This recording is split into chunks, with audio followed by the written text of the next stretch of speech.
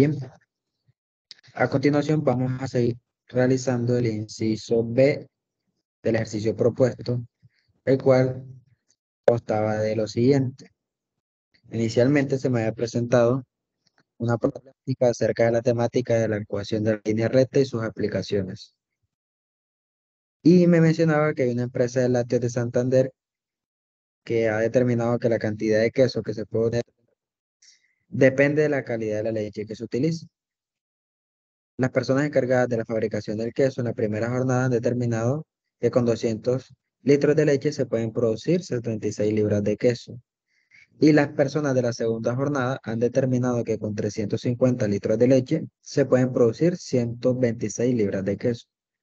Suponiendo que el comportamiento de la situación anterior es lineal, responda. Entonces, inicialmente, me pedían cuál es la ecuación que relaciona la cantidad de libras de queso que se pueden fabricar en función de la cantidad de litros de leche que se, que se tienen. Esto lo realizamos en el video anterior. Si no lo has visto, te invito a que lo revises. Y la ecuación que satisface esa incógnita es la siguiente. En ocasión vamos a realizar esto, este punto, que es el inciso B, en el cual nos menciona que si en la empresa de lácteos se tienen 460 litros de leche, ¿cuántas libras de queso se pueden producir? Para realizar esto, partimos de la que relaciona básicamente la cantidad de libras de queso que se pueden fabricar en función de la cantidad de litros de leche. Esta es la ecuación que satisface o que relaciona esas dos connotaciones. Entonces simplemente era reemplazar los datos. Ya yo sé que X va a ser litros de leche. ¿Por qué? Porque aquí me lo dice el ejercicio. X es litros de leche, cantidad de litros de leche. Eso pertenece a X. Y la cantidad de libras de leche, de queso, perdón, corresponde a esto que está en azul. Entonces, ¿qué vendría siendo Y?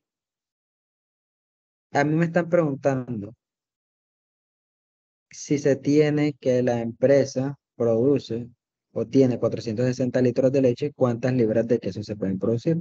X es litros de leche, Y es libras de queso, y ya tengo la ecuación que relaciona esa, esa connotación. Entonces simplemente debemos reemplazar en esta ecuación el valor de X. ¿Por qué? Porque X es litros de leche. ¿Listo? Y Y vendría siendo el valor total de las libras de queso. Entonces voy a reemplazar X por 460 litros de leche para que me quede todo en función de cuántas libras de queso se pueden producir, que vendría siendo Y. Acá reemplazamos X por 460, que corresponde a los litros de leche, Hacemos la operación matemática. Simplemente multiplicamos numerador con numerador. Me queda 460 entre 3 más esto que tengo acá, 28 tercios. Si se fijan, tengo una suma de fracciones homogéneas. Sumo los numeradores y abajo dejo el mismo denominador. 460 más 28 son 488. Si nosotros hacemos ese cálculo, y lo vamos a hacer por acá. Tengo que 460 más 28 me da 488. Eso entre 3 me da 162.66. ¿Listo? Yo lo puedo redondear si yo quiero. Lo puedo colocar aquí, 162.67.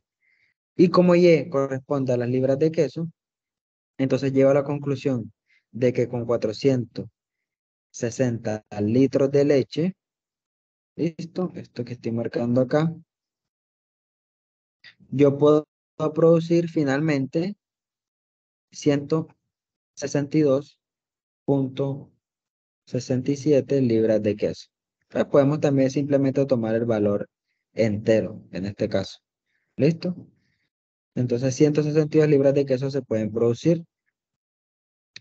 Al en la empresa de lácteos cuando se tienen 460 litros de leche. El ejercicio me pide que compruebe esto en GeoGebra, pues simplemente tenemos dos puntos, dos puntos, y sabemos que es una, eh, se mantiene una relación lineal, entonces yo puedo expresar esto en el plano cartesiano estableciendo los puntos x1, y1 que corresponderían a 460 para x1 y 162.67 para y 1. Entonces esto ya lo hicimos por acá. Y simplemente era establecer el punto. De hecho, vamos a borrarlo. Por acá, simplemente establezco los puntos. Entonces tenemos acá que el primer punto sería 460. 460.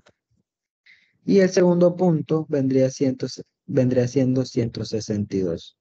¿Listo? Entonces, vamos a hacerlo. Tengo 460 y 161. 460 y 162. ¿Listo? Y ahí me marca el punto. Entonces, esto relaciona lo que yo tengo acá, en esa misma línea de producción. ¿Listo? Esta sería la comprobación en GeoGebra. Simplemente restablecer los puntos y ya. Quedaría todo perfecto. Entonces, hasta ahí el ítem B. Si les ha gustado, los invito a que le den un like al video y espero que de verdad haya sido de su mayor utilidad. Como siempre les digo, Dios los guarde, Dios los bendiga. Chao, chao.